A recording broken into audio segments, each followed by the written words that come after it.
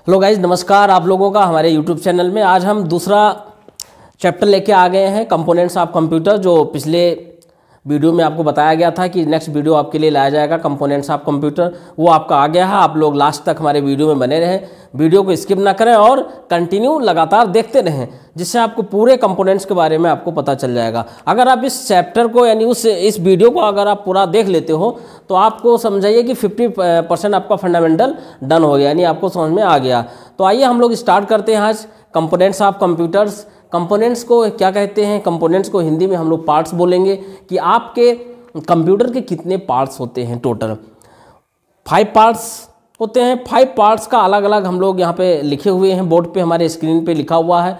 इसको हम लोग एक एक करके डिटेल्स में पढ़ेंगे। यहाँ तक आपको पूरा, यानी यहाँ पे कुछ डिटेल्स में बताया जाएगा। जैसे आपका पहला है वीडियो कीबोर्ड एंड माउस है। सेकंड हमारे पास है सीपीयू और कंप्यूटर मेमोरी थर्ड, फोर्थ आपका हार्डवेयर एंड सॉफ्टवेयर है और लास्ट आपका है other input and output.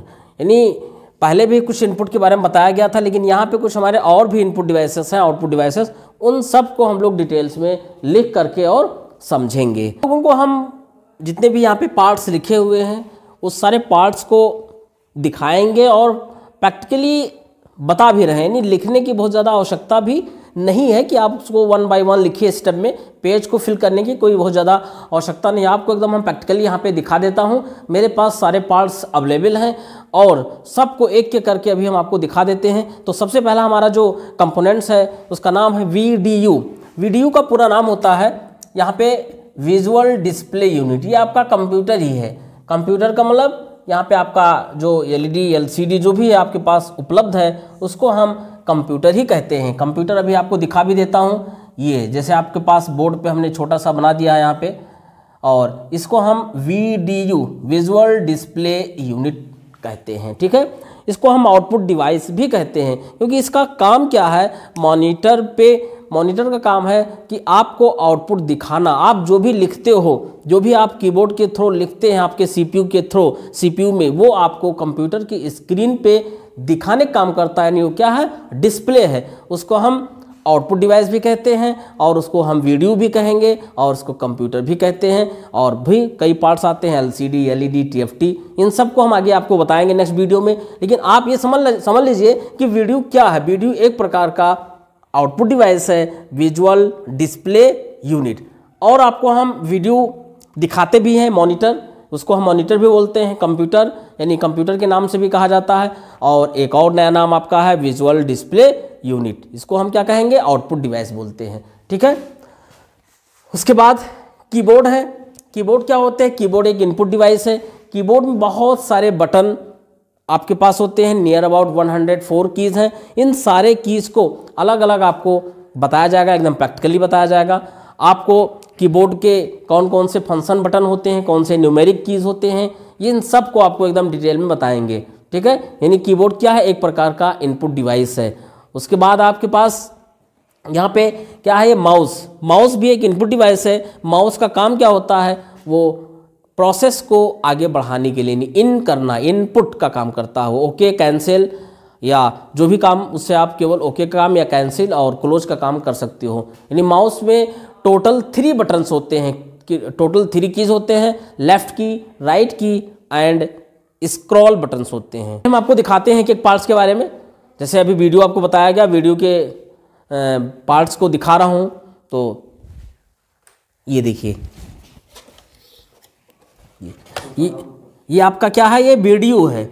V D U visual display unit कहते हैं। ये आपका एल सी डी है और जो है, ये हमारा एक आउटपुट डिवाइस है। इस पर क्या होता है कि हमारे मैसेज को दिखाता है। अगर ये ना हो तो हम कहाँ पे देखेंगे? यानी ये आपका मॉनिटर है। मॉनिटर को हमने बताया कि वीडियो और ये आपका आउटपुट डिवाइस है। वीडियो का पूरा नाम होता है विजुअल डिस्प्ले यूनिट। अगर इसकी साइज़ मेजर करना है तो हमेशा हम लोग डायगोनल मेजर करते हैं। ऐसे यहाँ पे तिरछे। चाहे ऐसे मेजर कर लो या ऐसे मेजर कर लो? तो आपने देखा वीडियो ये आपका आउटपुट डिवाइस है। नेक्स्ट आपको हम ऐसे कीबोर्ड भी दिखाएँगे। कीबोर्ड आपके पास यहाँ पे देखिए, ये कीबोर्ड है। ये कीबोर्ड बहुत सारे कीज हैं। यहाँ पे फ़ंक्शन कीज होते हैं F1 से F12 कीज़ फिर आपका न्यूमेरिक कीज़ ये आपका अल्फ़ाबेट्स कीज़ है, ऐसे बहुत सारे कीज़ हैं। Near about one hundred four keys होते हैं, ठीक है? ये किस प्रकार की मशीन है? इनपुट मशीन है, यानी इनपुट डिवाइस कहते हैं। उसके बाद आपके पास माउस माउस भी हमारे पास थ्री कीज़ होते हैं लेफ़्ट आपका ये राइट है, ये लेफ़्ट है, ये स्क्रॉल बटन है ये।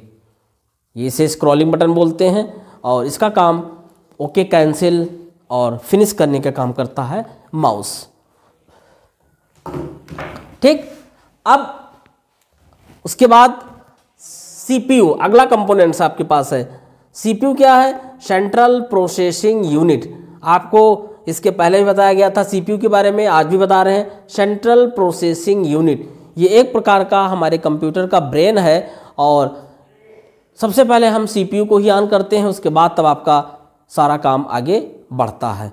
इसके पहले आपको सीपीयू के बारे में बताया ही गया है और बहुत ज़्यादा हम बड़ा नहीं कर रहे हैं, बस थोड़ा बहुत आपको परिचय दे दिया गया और दिखाया भी है, दोबारा आपको फिर से हम एक बार और दिखा देता हूँ सीपीयू का। तो ये आप देख ही रहे हैं, ये ये आपका सीपीयू है। और ये सीपीयू जानते भी हैं मेन ब्रेन है हमारे कंप्यूटर का, और ये ना इनपुट है, ना आउटपुट है, ये प्रोसेसिंग डिवाइस है। ये आपके सारे काम को कंप्लीट करके देता है, ठीक है? तो आगे आप अब आते हैं कंप्यूटर मेमोरी कंप्यूटर मेमोरी क्या होती है? मेमोरी को हिंदी में कहते हो यादगार कहते हो, याददाश्त बोलते हैं। जैसे हम लोग अपने मोबाइल में मेमोरी कार्ड लगाते हैं। हमारे एग्ज़ाम्पल के लिए हमारी बुक्स क्या है? मेमोरी। हमारी न्यूज़पेपर मेमोरी। हमारे कोई भी नोट्स, बुक भी मेमोरी है। इन सबको हम मेमोरी कहते हैं। मेरे कंप्यूटर में रैम लगते हैं, रोम लगते हैं। ये दोनों आपके मेमोरी हैं। मेमोरी भी दो प्रकार की होती है। एक प्राइमरी मेमोरी, एक आपका सेकेंडरी मेमोरी। प्राइमरी मेमोरी हमारे रैम और रोम होते हैं। सेकेंडरी मेमोरी हमारे, जिसे कहते हो hard disk, floppy disk S S D कहते हैं, ऐसे ऑप्टिकल डिस्क हैं डीवीडी सीडी तमाम ऐसे हमारे पास सेकेंडरी स्टोरेज इसे बोल सकते हो, और प्राइमरी में आपको रैम रोम बताया गया सेकेंडरी में ये। तो ऐसे आपके पास जो मेमोरी होती है, ऐसे हम लोग भी रखते हैं मेमोरी आप अपने कॉपी अपने नोटबुक कुछ अपने ब्रेन में भी रखा जाता है मेमोरी बहुत ज़्यादा आप नहीं रख सकते हो, लेकिन ये हाल ही में जो एक आध दो महीने आपके आस नियरेस्ट मंथ या बहुत ज़्यादा वन ईयर बहुत ज़्यादा आप रिकॉर्ड नहीं रखते हो, लेकिन एज ए वो बैकअप रखता है। यानी इसको हम क्या कहते हैं? मेमोरी कार्ड बोलते हैं मेमोरी स्टोरेज एरिया बोलते हैं, ठीक है? तो आपको पता चल गया मेमोरी क्या है। तो आपको मेमोरी के बारे में बताया गया, ये अभी आपको कंफर्म हो गया। अब हम अगला बताते हैं आपको। हार्डवेयर एंड सॉफ्टवेयर ये दोनों का कॉम्बिनेशन बहुत इंपॉर्टेंट होता है। हार्डवेयर और सॉफ्टवेयर आप बहुत ही इंपॉर्टेंट है। जैसे आप देखते हैं, आपके बॉडी में भी हार्डवेयर और सॉफ्टवेयर के कॉम्बिनेशन एकदम संतुलन होना चाहिए। जहाँ थोड़ा सा आप अपने आप को डिस्टर्बेंस में लिया, आपका सॉफ्टवेयर डिस्टर्ब हो गया तो आप समझ जाइए कि आप कोई काम को लायक नहीं है। चाहे आप जितने एकदम बहुत सुंदर भी सुंदरी भी हो जाए तो कोई मतलब नहीं है। यानी आपका ब्रेन एकदम डन होना चाहिए। यानी अगर डन का मतलब सॉफ्टवेयर ओके है हार्डवेयर अपने आप एक्सेप्ट कर लेता है। अगर आपका सॉफ्टवेयर डिस्टर्ब है तो हार्डवेयर काम ही नहीं करेगा। आपको पता ही नहीं चलेगा क्या करना, क्या खाना, कहाँ लेटना, कहाँ बैठना, क्या पढ़ना, किससे बात करना। ये सारे चीज़ें हमारे सॉफ्टवेयर पर डिपेंड करते हैं। सॉफ्टवेयर अगर अच्छा है तो हार्डवेयर थोड़ा बहुत डैमेज भी है तो काम चल जाता है, ठीक है? तो हार्डवेयर आपको, जैसे कीबोर्ड, माउस, आपको दिखाया गया था, ये भी मेरा हार्डवेयर ही है। ऐसे आपका मॉनिटर हार्डवेयर, आपके पास सीपीयू हार्डवेयर, आपका प्रिंटर हार्डवेयर, आप बहुत सारे आपके हार्डवेयर हैं। और सॉफ्टवेयर क्या होते हैं? सॉफ्टवेयर हमारे दो ही प्रकार के होते हैं। जैसे आप कह सकते हो यहाँ पे सिस्टम सॉफ्टवेयर और सिस्टम सॉफ्टवेयर कह सकते हैं। और सेकंड हमारे पास होता है एप्लीकेशन सॉफ्टवेयर एप्लीकेशन सॉफ्टवेयर इन दोनों के सहयोग से आप किसी भी टास्क को कंप्लीट करते हो, किसी भी कार्य को। सिस्टम सॉफ्टवेयर का काम क्या होता है? ये हमारे कंप्यूटर को ऑन करता है, यानी डिस्प्ले करके दे देता है। उसके बाद आपको जिस प्रकार का काम करना होगा, उससे संबंधित आपके कंप्यूटर में एप्लीकेशन सॉफ्टवेयर होना चाहिए। जैसे अगर आपको फोटोशॉप पे काम करना है तो फोटोशॉप का सॉफ्टवेयर होना चाहिए। कोरल पे आपको कुछ डिज़ाइनिंग करना है बेडिंग कार्ड इनविटेशन कार्ड ऐसे कुछ भी तो आपके पास कोरल का सॉफ्टवेयर होना चाहिए। यदि आपको कुछ लिखना है एप्लीकेशन या कुछ नोट्स तैयार करना है या आपके किसी शैली स्लिप तैयार करना तो मेरे पास एम एस ऑफ़िस या जो नया भी हाल ही में आया है कैल्क वो लिब्रे ऑफ़िस कहते हैं। लिब्रे ऑफ़िस में भी Calc power Writer Impress Base इन चारों का पैकेज है। ऐसे इसके पहले आपके एम एस ऑफ़िस भी आ, आज भी यूज़ हो रहा है लोग भी यूज़ करते हैं। ये सब क्या हमारे एप्लीकेशन है? गेम भी अगर प्ले करना है तो गेम का भी सॉफ्टवेयर होगा तभी आप चला पाओगे। तो मुझे लगता है आप लोगों को सॉफ्टवेयर समझ में आ गया होगा हार्डवेयर भी। हार्डवेयर जिसे हम छू सकते हैं, बहुत लोग कहते हैं, और सॉफ्टवेयर को कहते हो छू नहीं सकते हैं। तो सॉफ्टवेयर को ऐसे ऐसे नहीं डिफाइन करोगे। सॉफ्टवेयर को तो हम डायरेक्टली छू तो नहीं सकते हैं, लेकिन किसी इंस्ट्रूमेंट के थ्रू किसी डिवाइस के थ्रू उसको हम कंट्रोल करते हैं, लिखते हैं शेप करते हैं। यानी सॉफ्टवेयर पे काम कर सकते हो। तो सॉफ्टवेयर की अगर डेफिनेशन बताना हो तो कह सकते हो set of instructions comma data and programs are called software तो ये दोनों आपका क्लियर हो गया होगा। यदि आपको कोई डाउट होगा समझ में तो आप कमेंट में ज़रूर लिख करके मैसेज करें। हम लोग उसमें दोबारा आपको आंसर दे सकते हैं यानी समझा सकते हैं। तो अगला अब हम लास्ट हमारे पास कंपोनेंट्स है इनपुट एंड आउटपुट डिवाइसेस इसके बारे में भी हम आपको बताते हैं। वैसे अभी हमने थोड़ी देर में आपको परिचय कराया था इनपुट डिवाइस और आउटपुट डिवाइस के बारे में। हाँ और आप लोग ध्यान रखिए कमेंट में ज़रूर लिखिए कि मुझे समझ में आ रहा कि नहीं आया? तो नहीं आ रहा तो भी लिखिए कि समझ में नहीं आया। आपको दोबारा रिवाइज करके फिर से बताया जाएगा। यदि आ रहा है तो उसको आप बताइए कि हाँ मुझे एकदम कंप्लीट समझ में आ रहा है। अगर आपको समझ में आ रहा है तो लाइक ज़रूर करें और जो है सब्सक्राइब अगर आप मेरे चैनल पे नए हैं तो सब्सक्राइब ज़रूर कर दें। ठीक है? सब्सक्राइब करने में कोई आपका, कोई ना ज़्यादा खर्चा, कुछ भी नहीं लगता। फ्री ऑफ़ कास्ट आपको सब्सक्राइब करना है। उसके बदले में देखो, शिक्षा आपको बहुत मूल्यवान चीज़ है जो आपको मिल रहा है। ठीक है? शिक्षा आपके भविष्य का निर्माण करता है, शिक्षा आपके जो है बॉडी लैंग्वेज डेवलप करता है और आपको एक जो है आगे एक राह दिखाता है जिससे आप कुछ अर्निंग कर सकते हो और अपने आप को आगे बढ़ाया जा सकता है शिक्षा के ज़रिए, ठीक है? तो शिक्षा वो शेरनी का दूध है जिसे पी करके आप दहाड़ सकते हो, ठीक है? लोगों के बीच में अगर आप कपड़े पे मत जाइए कि बहुत गंदा कपड़ा है तो हम बीच में नहीं जा सकते। लेकिन एजुकेशन आपका क्या है? एक शेरनी का वो दूध है, जो आप एक बार अगर आपने सही से पी लिया तो आप लोगों के बीच में खड़े होकर एकदम दहाड़ दोगे तो लोग आपका मान सम्मान और मे भी आप अर्निंग भी कर सकते हैं। तो इसके लिए आप बहुत ज़्यादा नहीं बताएँगे अब। मेरे वीडियो में आप लास्ट तक बने रहें और आप यहाँ ये भी नहीं कि आप आगे भी आपको ऐसे ही मिलता रहेगा फ्री ऑफ़ कॉस्ट हम लोग दे रहे हैं। इसके बदले में आपको लाइक शेयर और सब्सक्राइब ही केवल करना है, ठीक है? यह समझ में ना आए तो आप एनी टाइम कमेंट कर सकते हो। आपको सेम टाइम पे रिज़ल्ट मिल जाएगा उसका। क्या समस्या है जो समझ में नहीं आता है? तो अब हम लोग ये कंपोनेंट्स और बचा हुआ है। Input and output devices input हम लोग क्या कहते हैं, किसे कहते हैं इनपुट का काम क्या है, वो आपको बता देता हूँ। Input devices near about ten to twelve होते हैं, सारे डिवाइसेस का यूज़ हम लोग जानेंगे, जानते हैं तो ठीक है, नहीं जानते हैं तो और अच्छा है। आपको एक एक करके हम सारे डिवाइस के नाम बताते हैं। जैसे हमारे पास कीबोर्ड अभी आपने कीबोर्ड देखा ही है, और माउस भी हमने आपको दिखाया था। कीबोर्ड है आपका, दूसरा आपके पास माउस होते हैं, और तीसरा हमारे पास है जॉयस्टिक जिससे हम गेम प्ले करते हैं जॉयस्टिक से।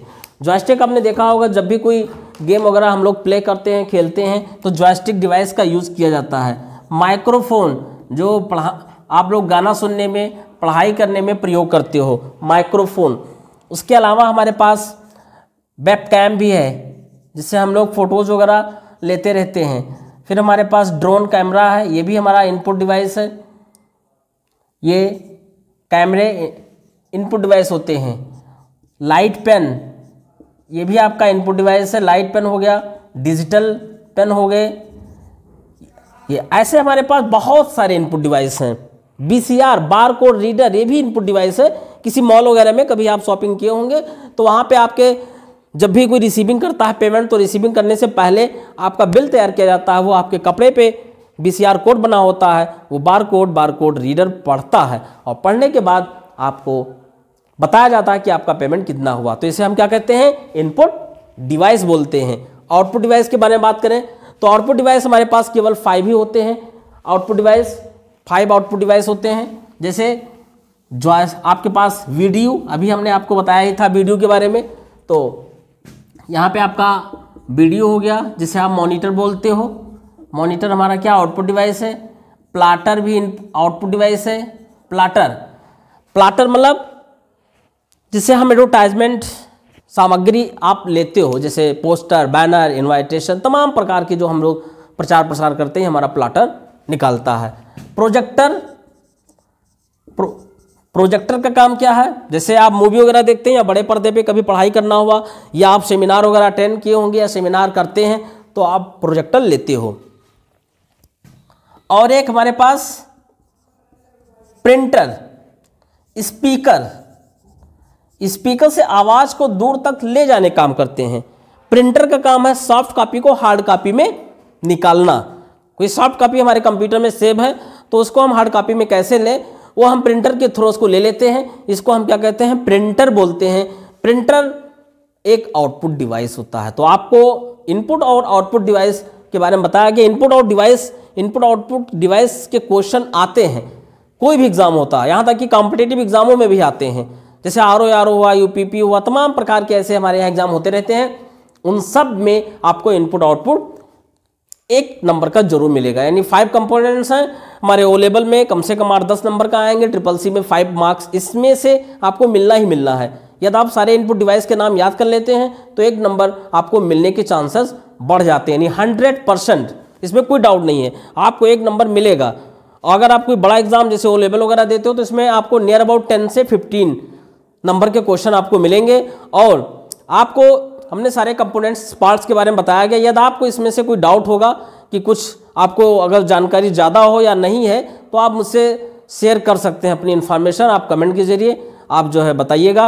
और मेरे वीडियो में यदि आप नए हैं, एक बार हम फिर से आपसे कह रहे हैं कि चैनल को ज़रूर सब्सक्राइब करें, जिससे आपको नए नए वीडियो पर डे मिल रहे हैं, वो आपको मिलते रहें। तो बहुत ज़्यादा प्रेशर नहीं है, लेकिन एक बार आप मेरे लिए केवल बहुत तेज़ी से आप सब्सक्राइब कीजिए और लाइक, शेयर, कमेंट, तीन चीज़ आपको करना है और आपको हम फ्री में दे रहे हैं। अगर आपको इतनी बड़ी चीज़ कोई फ्री में दे रहा है तो वैसे बिना कहे आपका बनता है। दबा के लाइक कीजिए, कमेंट कीजिए और अपने ग्रुपों में शेयर भी कीजिए कि लो, एजुकेशन फ्री में, वैसे कोई देता होता नहीं है।